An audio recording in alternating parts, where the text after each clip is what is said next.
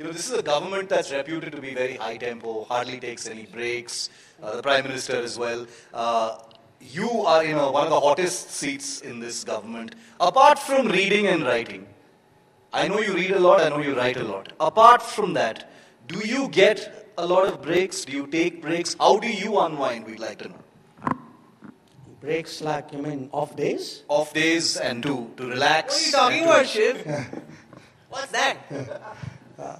No, look, uh, I, I think uh, today there's so many things happening in the country around the world that uh, even if somebody gave you an off day, you wouldn't take it, you know, because you would have stuff to do, you'd be uh, involved uh, uh, in it. So, uh, I mean, I, I do all the things that normal people do, you know. I mean, I take a walk in the morning, I play some sports, I. We beat you at squash, Shiv.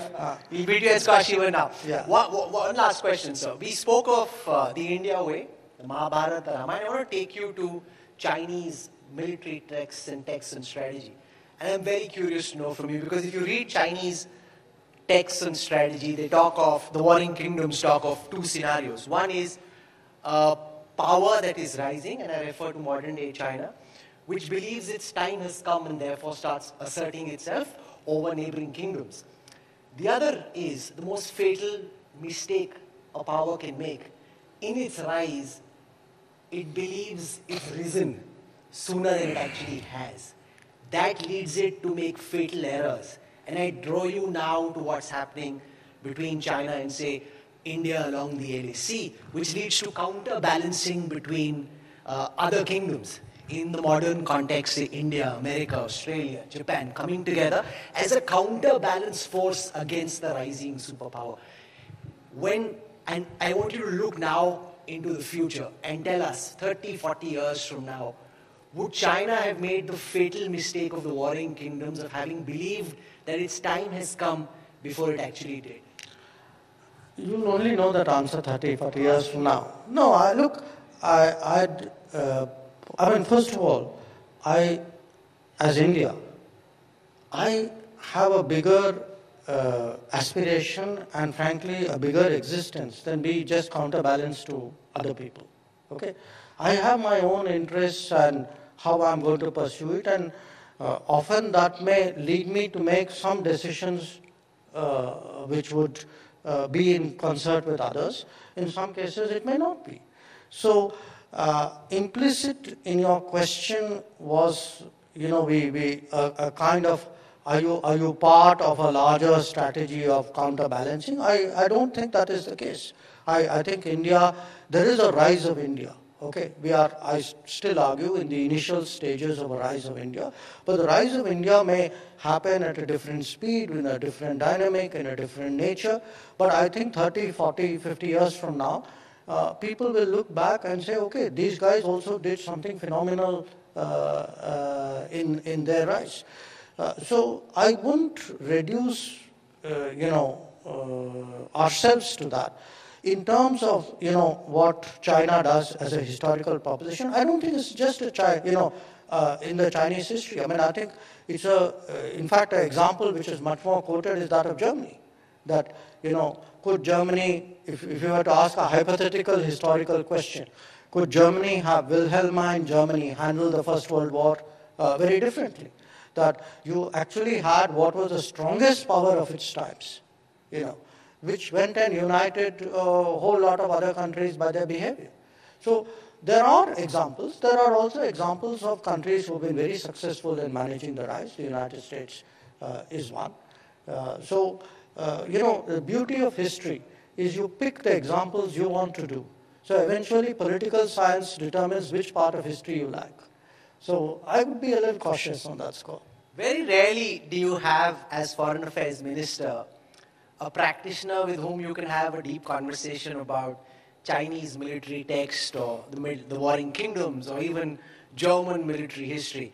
And that is just fantastic and that's you know, really good for all of us as Indians to have, whether we agree or disagree with some of what you did, uh, but to have someone as accomplished as you at the wheel of India's foreign affairs. This is the first time you've come in real life uh, to an India Day conclave. You've shared some really sharp insights uh, with what's going on in your mind how you're calibrating uh, India's foreign policy. And we deeply appreciate you having taken our time. Can we have a very warm round of applause for India's Foreign Affairs Minister, Dr. Subrahmanyam Jaishankar?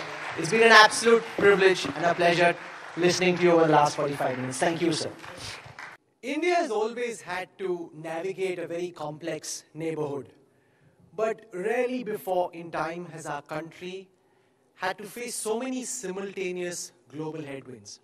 From the Taliban takeover of Afghanistan to the PLA's military build-up along the line of actual control, the geostrategic risks to India are clear and present.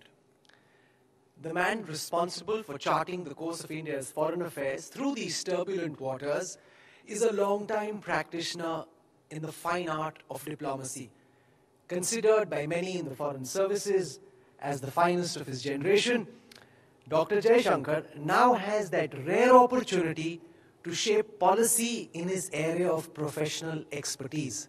It's that sweet spot that lakhs of professionals dream about, but only the chosen few get to practice. Ladies and gentlemen, join me in welcoming for his conclave debut in New Delhi the External Affairs Minister of India, Dr. Subrahmanyam Jaishankar. Can we have a warm round of applause, please? Joining me for this interaction are India Today's Foreign Affairs Editor Geeta Mohan and Executive Editor of India Today Television, Shiv Aroor. Dr. Jaishankar, welcome. Let me start by asking you about your reading of the current situation in Afghanistan. There have been lots of reports about the Baradar faction and the Haqqani faction being at loggerheads. How are you working towards recalibrating India's relationship with the new Afghanistan in light of the reality of the Taliban takeover in Kabul? Dr. Jaishankar. Uh, first of all, uh, thank you, Rahul. It's good to be with all of you today. Uh, look, the situation in Afghanistan is still unfolding. There is still a lot of lack of clarity. I mean, obviously, some of the more visible changes are, are apparent. So uh, you have to make your, take your positions, make your decisions on the basis of what you have. Now, the general sense in the international community is that uh, there are some basic expectations which the world has of Afghanistan. Uh, the most basic of them is actually the fact that Afghan soil will not be used for terrorism uh, against other countries. Uh, uh, there are uh, also expectations about the nature of the government, that it would be Uh, inclusive in some form. Uh, that, uh, you know, there, there's, there's a view about what are considered uh, governance standards in this day and age. Uh, so, uh, question of you know how you deal with minorities, with women, with children. Uh, how you deal with uh, people who want to leave your, you know, go out of your country or come into your country, I mean, legitimate uh, moment. So I think these are all live issues and um, we are obviously quite involved in uh, shaping the uh, thinking of the international community on that. Uh, partly because we also happen to be at this time a UN Security Council member. Many of these debates are taking place there. Some of them are taking place in the G20 format. We had a foreign ministers meeting of the G20. Uh, so I think it's you know it's evolving. We are making it up, obviously responding to the situation uh, as as you uh, go along. But uh, beyond that, it's hard to take a very